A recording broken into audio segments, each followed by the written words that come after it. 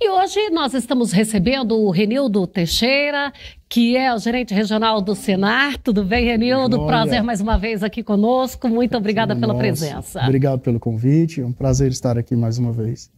Renildo, nós estamos com muitos treinamentos programados. Isso aí, nós com, é, acabamos de, de, fechar o agendamento né, do, do último trimestre, que é a última fase, a fase final do ano dos agendamentos. Então, nós já temos em todos os sindicatos rurais a, a agenda já escalada né, dos instrutores referente a outubro e novembro do, desse ano, onde esses treinamentos já, já tem a data marcada, o instrutor escalado, né, já está tudo, tudo pronto aí para a gente acompanhar e, e, dar o apoio a esses produtores no, no período de, de plantio já, né? Já vem ali de acordo com a, de, a, demanda, de acordo com a necessidade que vai acontecer. Sim, justamente. São treinamentos voltados para essa época do ano, né? Que é o de regulagem de, de, de, implementos, né? Os treinamentos de plantio direto, de agricultura de precisão. Então, é utilizar aquela fase ali de, de preparo desses maquinários, né? E depois também, terminou o plantio, já tem produtores nos procurando para fazer os treinamentos de aplicação, né? De é, utilização de, de, GPS, né, GPS de máquinas, e os outros de segurança, né, que são os mais demandados, são as NEs. Esses não param, ele, eles ocorrem durante o ano todo. E aí, aproveitando também o assunto de ontem, né, ainda em tempo, como nós não recebemos as chuvas, nós temos o treinamento do Senar Goiás de prevenção né, e combate a incêndio. Treinamento esse que ensina a, a, a parte de de prevenção com relação a aceros, né? É, é, com relação à a, a, orientação de não ensinar mesmo aquela, aquelas pessoas a não utilizarem o fogo de forma nenhuma, utilizarem os equipamentos de prevenção. Desde um simples abafador a um caminhão-pipa, são, são equipamentos que às vezes o produtor tem na propriedade e não sabe utilizar da forma correta. Então nós temos esse treinamento, foram realizados inúmeros treinamentos em, em todo o estado de Goiás, e ainda em tempo, né? Se tiver algum produtor interessado, algum sindicato rural interessado, ainda tem agenda para conseguir é, atender esses pedidos. Quando fala que às vezes não está usando da forma correta, alguém pode achar, poxa vida, está dizendo que não sei usar, é porque tem as colocações específicas também em defesa da vida, né? Com certeza. E eu estava vindo hoje na estrada refletindo, né? Quando a gente perde uma palhada, um maquinário, isso é recuperável, né? Demora, mas recupera. Mas nada é, é uma perda, perda tão grande como uma vida. E esse ano, infelizmente, nós tivemos vidas né, perdidas, até por, por heróis, né, que a gente costuma dizer, que são pessoas que estão ali no campo, tentando apagar no anseio de, de resolver, né, de de proteger o patrimônio, proteger as pessoas, e entra de uma forma né, errada, entra às vezes com, com uma distância inadequada e acaba né, eh, se queimando, né, queimaduras graves e até mesmo perdendo, perdendo a vida com relação a isso. Então o treinamento serve para isso, né, para orientar, alertar, né, para que a pessoa tenha mesmo, a, primeiro, preservar a vida. Então, a pessoa vai, não é que ela não sabe fazer ou não sabe reagir. É que ela chega num afã de socorrer, socorrer. de ajudar, de, de tentar debelar aquele fogo ali, né? E, e quem já acompanhou um, um, fogo, eu mesmo já trabalhei muito em lavoura, principalmente em lavoura de cana, o, o vento ele vira muito rápido. Então, da mesma forma, da mesma hora que você acha que está vindo para um lado, ele vai e vira, e pega desprevenido o caminhão ele apaga, uhum. é, entra fumaça no, no, motor, né, no, aspira ali no, no, sistema de ar, entra fumaça. Aí junta acaba, o calor é, e a fumaça, tudo, né? a pessoa acaba Não desmaiando. Não dá tempo da pessoa correr, desmaia. Então, assim, é, é muito perigoso. É muito perigo, perigoso mesmo. E o treinamento ele vem aí para tentar né, orientar e alertar essas pessoas do, do risco, né, através de vídeos, através de depoimentos. Né, instrutor, os instrutores eles têm uma vivência, né, eles trabalham com isso no dia a dia. Então eles sabem uma forma até de colocar um certo medo na pessoa, falar, ó, oh, cuidado, que isso daí é mais complicado. e a gente tem que entrar num combate a incêndio com medo, né? Olha, gente, medo é sempre importante. É. Porque a hora que você confia demais, ali está a gravidade do problema. E só que não é só de incêndios. É, são vários, né? Vários treinamentos. E às vezes a gente fala que no, o seu público são produtores rurais de, de soja, de milho, né? Pecuaristas.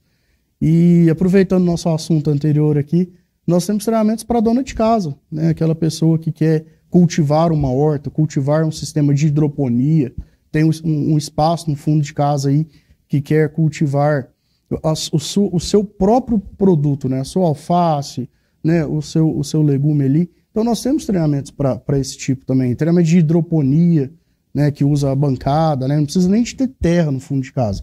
Se tiver o espaço onde pega sol e energia elétrica, a gente consegue montar um sistema de hidroponia. Treinamento de aquaponia também, né? Treinamento de cultivo de, de é, produtos orgânicos, né? Tem um treinamento de horticultura orgânica também.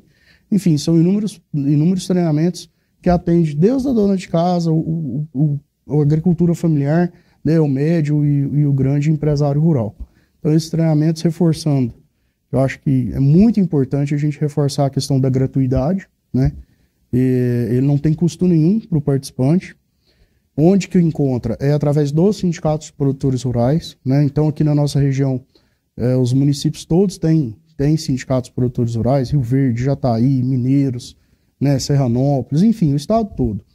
Nós temos 126 sindicatos rurais no estado de Goiás. Desses 126 representam os 246 municípios. E com isso, o, o Senar Goiás consegue levar ao menos uma ação em cada um desses 246 municípios, viu, Fabelli? Então, é uma das poucas instituições aí que conseguem estar presente nesses 246 municípios, através de um treinamento de FPR, que é a formação profissional rural, a promoção social ou assistência técnica. Né? Então, no mínimo, um técnico, um instrutor está lá visitando esses produtores. Como diz o nosso presidente Zé Mário, atrás do morro, atrás da montanha, onde geralmente nem o poder público chega, o Senar Goiás vai lá e leva a mão amiga, leva a capacitação para esses produtores. Bom, isso é verdade.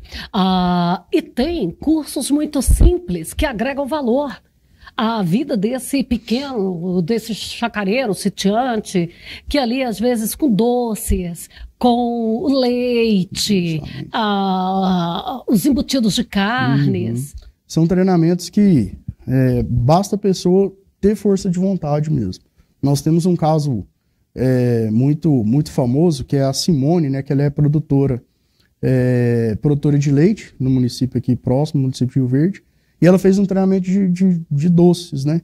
E hoje ela, ela vende em toda feira que tem, ela está lá vendendo seu doce, fez a, a, a, venda de doces cristalizados a sua principal renda, né? Então ela participa de feiras é, em Rio Verde, em Goiânia, onde tem mesmo, ela participou da Sudoeste, então ela é referência. Isso é um dos inúmeros casos que a gente tem, casos de sucesso. Produtores que hoje estão produzindo o queijo, né, o queijo artesanal, conseguiram conquistar o selo arte, agregando valor ao seu produto. Né? O produtor de leite ele consegue produzir um queijo diferente, um queijo coalho, e hoje ele agrega e aumenta muito a renda familiar. Olha só, se ele fosse vender o litro de leite, preço que ele ia obter vendendo queijo, Sim. modifica tudo. Nós temos um caso aqui bem próximo da gente, que é em Caçu, que é o Rogério uhum. Trevisoli. Eu, eu, eu sou, admiro muito a família, que hoje ele está fazendo só queijo de, de altíssimo valor agregado e participa de feiras, exposições e está tá conquistando prêmios. Né? Os queijos deles já, já são premiados. No caso da Simone e do, e do Rogério, do Rogério você sabe o tamanho das propriedades? Assim? Olha, a Simone ela é, é, uma, é, uma, pequena propriedade mesmo, que fica entre Rio Verde e, e Aparecido do Rio Doce, mas não é, não é grande propriedade, não. O Rogério também é uma pequena propriedade. Né, que eles, aumentou a produção aumentou que... a produção né ele, o Rogério ele não produzia queijo então ele era então, assim, técnico, leite aumentou também aumentou a produção e, de leite e o Rogério no caso ele, ele além dele utilizar o leite dele ele está precisando de comprar dos vizinhos. Né? Então ele já está então, tá fazendo. Tá gerando. Gerando outras rendas ali no município. Então ele também compra leite dos vizinhos porque só a produção dele não é suficiente. Né? E eles participaram do da nossa nosso atendimento continuado. Então a Simone, ela fez o treinamento, pegou gosto, começou a produzir, aí a gente atende, atende ela através do técnico que atende a produção de leite, e temos outro técnico agora, uma técnica de campo, que é a Patrícia, que ela já atende ela no, no, no, no setor de produção dos doces, que a gente chama de agroindústria. É o Senar mais agroindústria. Da mesma forma o Rogério. Então, ele já tem esse, esse atendimento continuado, que vai lá auxiliar ele no processo produtivo do queijo e da gestão dessa atividade. Mas aqui na minha cidade eu não sei como é que eu vou fazer, eu não sei quando que tem curso, como é que eu faço? Então, todos os municípios, a nossa referência são os sindicatos rurais, sindicatos produtores rurais. Aqui em Jataí, né, nós temos um sindicato muito atuante, né, em toda a regional. Aqui, inclusive, tem o programa Senar Mais também, com grupos de horticultura, grupos de bovinocultura de leite, bovinocultura de corte. Todos os municípios têm. Pode procurar o seu sindicato, né? Procurar o mobilizador, o presidente do sindicato, o coordenador regional, né? Que eu estou aqui para isso. Aqui nós temos o, o colega Nélio, que atende toda a regional extremo sudoeste. Então, se você tem interesse, está nos assistindo aí, pode nos procurar, que é o nosso dever atender esses produtores e, e repito e reforço, independente do tamanho. E normalmente, onde esse curso é ministrado? É na cidade? É numa propriedade? Como é que é? Normalmente é na propriedade. Né? O instrutor, o sindicato, vai onde o, o produtor está. Né? Então, a gente costuma dizer, o treinamento acontece dentro do curral, lá no, em cima do trator, debaixo de um pé de manga, onde tenha os participantes e, e, a demanda, nós vamos lá e atendemos lá nesse local. Lógico, também a gente oferece o treinamento aqui, aqui dentro da cidade, né, no Parque de Exposições, onde tem uma estrutura também mínima, a gente leva é, esse, esses treinamentos. Diferente do outro sistema S, do Senai, do Senac, nós não temos a, a sede física, né? Uhum. Então o Senar não tem uma, uma estrutura, um prédio físico com salas de aula, porque a nossa sala de aula é lá no campo. Então é lá que está o nosso, nosso público. Sei, é também o nosso tá presidente fala sempre, né? É, não, então é, é de botina mesmo, né? É trabalhar de botina, porque sempre a gente está lá, está lá no campo levando essa, é, esse conhecimento, essa assistência técnica. Renildo, eu quero agradecer aí a sua disponibilidade mais uma eu vez. Agradeço. Sucesso no Campo está sempre de portas abertas para o Senar Goiás. Tá? E através do Senar Goiás, a gente recebe já informações do Senar DF, do Senar MT, que eles já nos enviam também informações, né? Então, através desse trabalho realizado pelo Senar Goiás, que se destaca bastante. Parabéns, muito obrigado. Muito obrigado, eu que agradeço.